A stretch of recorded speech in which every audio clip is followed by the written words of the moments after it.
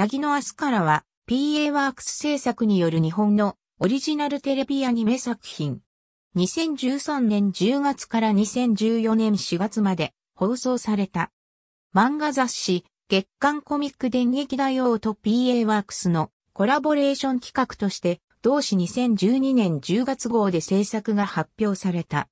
略称は、なぎやす。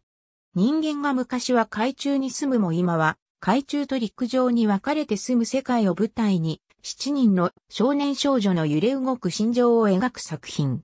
PA ワークスによるオリジナルアニメ企画として、2013年6月号より、月刊コミック電撃大王にて、漫画先行で公開されている。PA ワークスの堀川健二代表取締役からの若いスタッフがやりたいものをという発案で企画が始まり、アスキーメディアワークスにも話を持ちかけたことで、共同制作することになった。キャラクター原案はブリキが担当しているが、その他の主要スタッフは、監督を RDG レッドデータガールの篠原俊也、シリーズ構成を花咲く、いろはの岡田マサと、キャラクターデザインをアナザーの石井ゆり子がそれぞれ担当するなど、歴代の PA ワークス作品への参加人で固めている。ボンネットバスやオート三輪が独自の進化を遂げて走っているなど、独特の雰囲気を持った海浜の街が舞台となっている。劇中で実在する地名は使われていないが、美術監督の当時和製をはじめとするスタッフ陣が三重県熊野市へ取材に赴いた上で、あたしか海水浴場周辺や JR 規制本線の涙主駅などをモデルとして描いている。物語は大きく分けて、ある年の夏と、その5年後の夏の2部で構成されている。ここでは前者を第1部、後者を第2部として説明する。かつてすべての人間たちが海の中で普通に呼吸し、生活を営んでいた世界があった。だが、ある時を境として陸に上がって生きる人たちも現れ、やがて人の世界は海と陸に分かれた。先島光、高井戸真中、ひらひら千咲、イサキイラ4人の少年少女は、海の世界の村落、潮シ火星で昔からいつも仲良く暮らしていた。そんな中、潮シ火星の学校が廃校になったため、光たちは陸の世界に上がり、押大市の学校へ通うようになる。押大市の少年、木原紡との出会いや、押大市で古くから伝わる神事、お船引きを実現させたい光たちの思い、光の姉の明かりが陸の人間である汐留いたりと恋仲であったことなど、様々なことを経て、光たちは陸と海の人間の間にある溝と真剣に向き合うようになっていく。そんな思いを抱きながら、陸と海の人間たちの心を一つにして、明かりと至りの結婚が、お船引きと一緒に取り行われることとなる。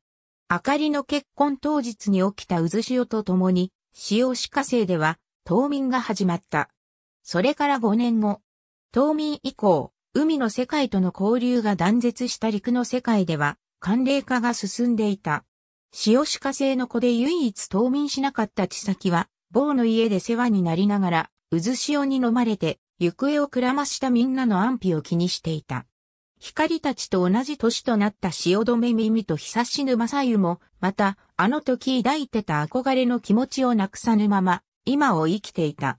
そんな友エビの日に、行方不明だった光が5年前と変わらぬ姿で発見される。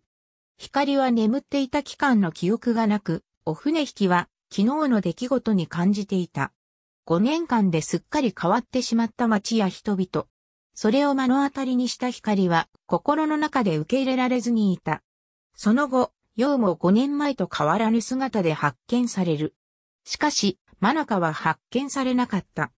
ある日、海に落ちたミミは突然海の中で呼吸ができるようになった。ミミ、光、要は、マナカを探しに海へ潜ると、海の世界のとある海底の村、潮シカ星に住む4人の少年少女たちが、本作の主役で、陸の世界のとある海辺の村、押大市に住む少年と2人の少女がもう1人の主役である。